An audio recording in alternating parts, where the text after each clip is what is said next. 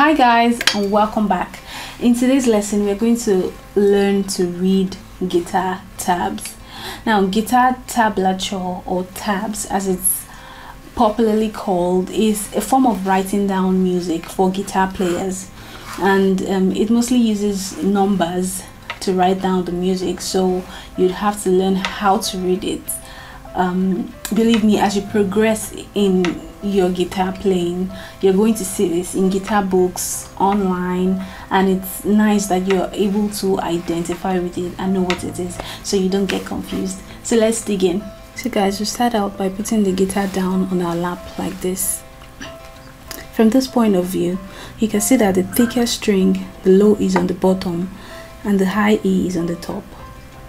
It's just like that on tab paper with the bottom line representing the thickest string, the top line representing the th thinnest string. As I pluck the notes from the bottom to the top, you can see that the corresponding lines on the tab paper also go and a zero appears on each line as I pluck it. That zero represents an open string so we are just playing the all the open strings from the lowest string to the highest.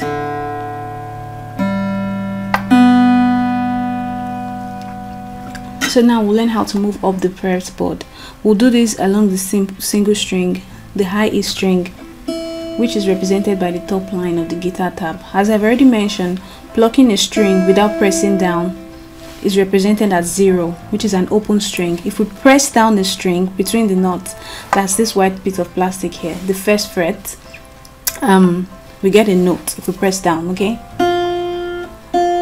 That note is represented by a 1 on the guitar tab because we are pressing on a string on the first fret.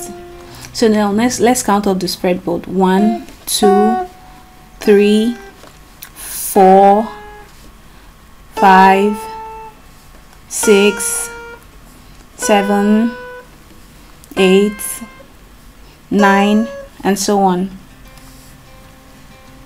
Most guitars have these white dots here, fret markers. They help you know what fret you are on. Most guitars have it on the third, fifth, seventh, ninth fret, which are all, all odd numbers.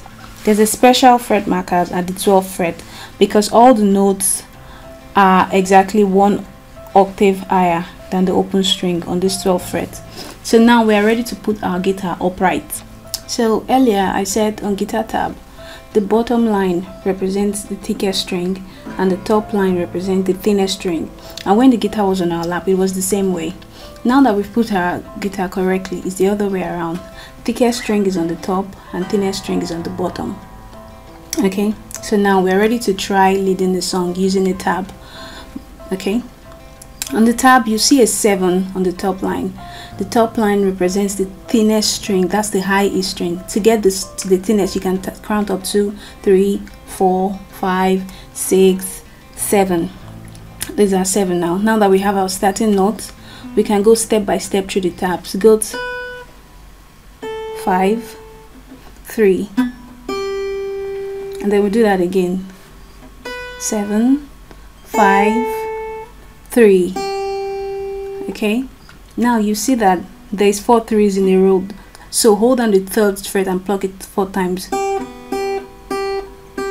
Same thing but on the fifth fret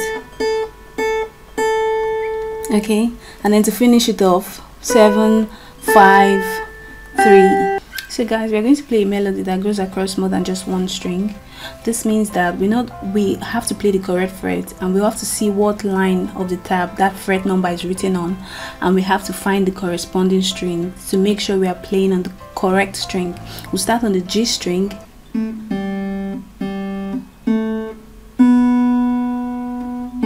Back to the G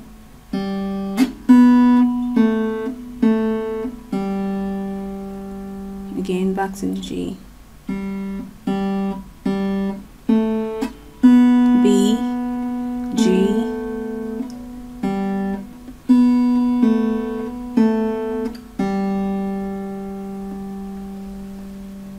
On tab, if you see two notes that line up vertically, it means you play them at the same time. In this song, Smoke on the Water, we are going to be playing the D and G strings.